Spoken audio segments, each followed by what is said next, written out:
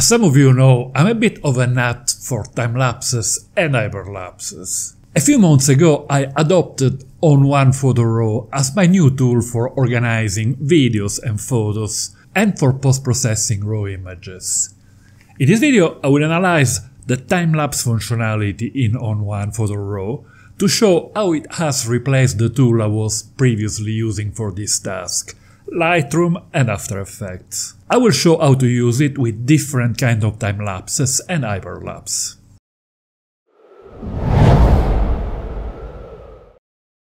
I normally like to dive immediately into the thick of the action, but this time a few words about On1 Photo Raw. I've tested several alternatives to Lightroom and Photoshop to respond to requests by members of my community who would prefer to have a program that can be purchased with a one-off payment instead of a monthly subscription. I was so pleasantly surprised by On1 Photo Raw that I decided to adopt it myself after many years with Lightroom and Photoshop. I also became an affiliate and I can offer a discount coupon that you will find in the description below together with all the info about pricing and specs. This program covers all my personal needs. It can organize video and photos, can do practically everything, has an excellent interface and a very fast workflow all in a non-destructive way within the same program. It is also very affordable and can be purchased either with a one-off payment or by monthly subscription. I've done an overview video about On1 Photo Raw, I will post a link at the end of this one. But is this program faultless? Of course not. There are two small downsides that are negligible for most users but can be important for others. The final quality of the file produced is not at the same level or some very specialized program aimed at professional photographer, although the latest version 2022 produced very nice results, as you will see in the example that follow. Also, it is not the fastest of the lot. I find the latest version just a bit slower than Lightroom, but if we consider that we can use layers, mask, retouching tools, clone stamp, add text, without a trip to Photoshop and still in RAW format, my workflow is actually in most cases faster.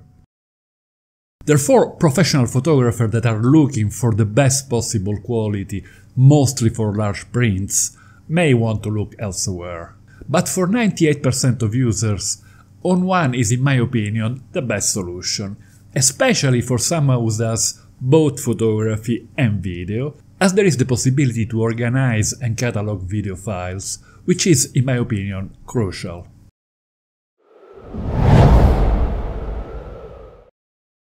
I always shoot my time lapses in RAW format, and you will soon see why. In most cases I take 300 photos that yield about 12 seconds of footage at a frame rate of 24 frames per second. The frequency of shots varies according to the kind of movement in the scene, generally from one shot every 2 seconds up to one every 6 seconds. It is much handier to organize each time lapse into an individual folder. If you want to know more about the way I shoot time lapses and hyperlapses, you can watch this video, or the one about motion blur, the most important factor to master. You will find a link to these videos in the description below. In On1 we can navigate to a subfolder and visualize one of the photo forming the time lapse. I like to perform most of the static adjustments on the raw files in uh, On1 Photo Raw, while I will do the dynamic adjustment on my video editor if needed. In most cases, images containing the sky benefit from some dehazing. In Lightroom with time lapses, a lot of care is needed with the dehaze slider, as it can introduce some horrible color shift. I find that with On1 we can go much farther with this tool without creating any artifacts. You can see how the sky and the reflection on the water come alive. There is a very nasty dust spot on the top right of the image. In a single photo it is extremely easy to get rid of it with a perfect eraser tool. But in time lapses we should never do that, as it will cause horrible artifacts in the following frames. Just leave it as it is and we can easily fix it on the video editor. There are many ways to increase contrast. We can start by lowering the black point and the shadows a bit. Then, if needed, increase the white point and the highlights. I really like the mid-tone slider to adjust the central part of the histogram. This slider is not available in Lightroom.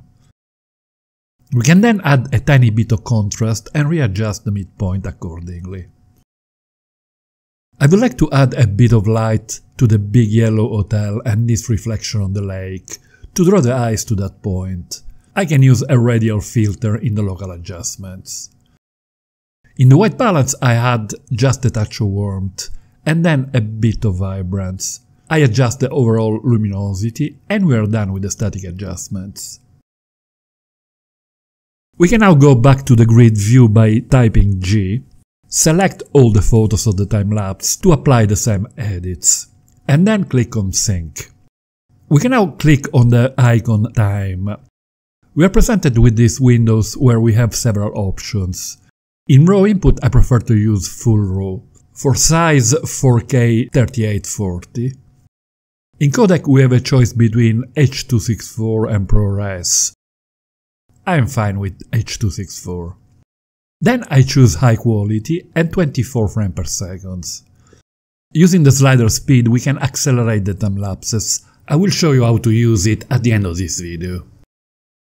There are two more choices. Detect camera movement should help reduce camera shake when the tripod is not very solid or in strong winds, which is not the case here. I will show how reduce flicker works later on. To the left we have a slider under the name Frame to visualize a preview of the time-lapse.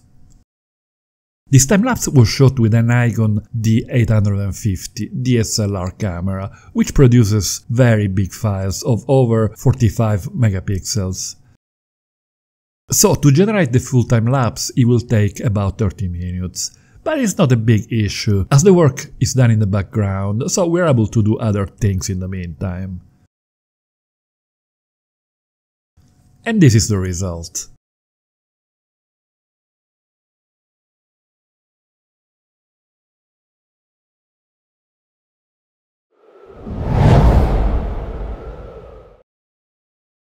Let's go back to ON1 and add a couple of effects to show the difference when exporting in JPEG files.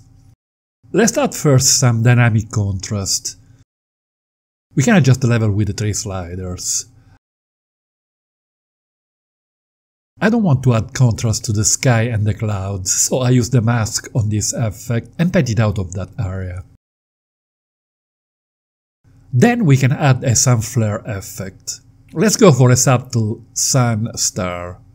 We can play around with several parameters, including also the amount of sunshine on the other part of the scene. I am of course exaggerating the amount of the effect to make it more evident. If I now create the time-lapse using as input the full RAW, this is the result.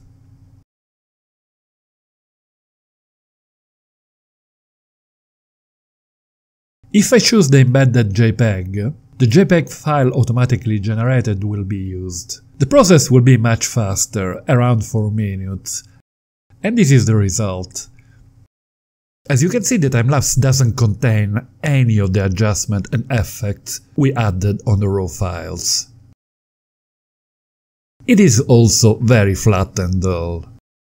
Even if we try to jazz it up on Premiere Pro by adding some contrast and saturation, we cannot get anywhere near the control we have when using raw files, especially for the white balance, as info contained in the JPEG file are very limited.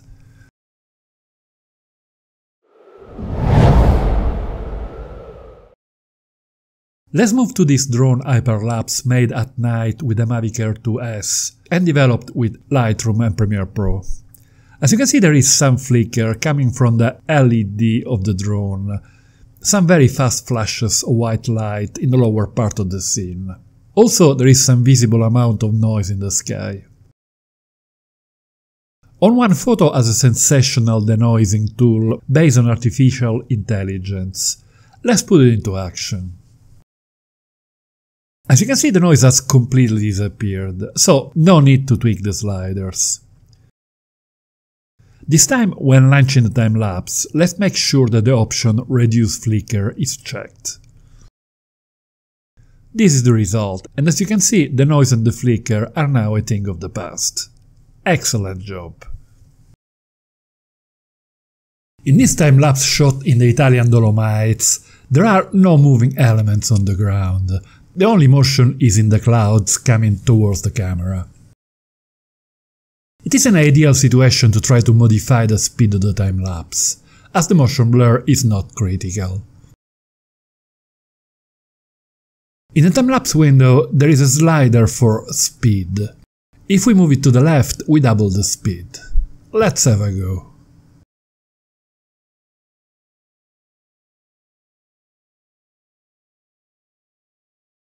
Obviously, if we move the same slider towards the right, we get the opposite effect, a slower time-lapse.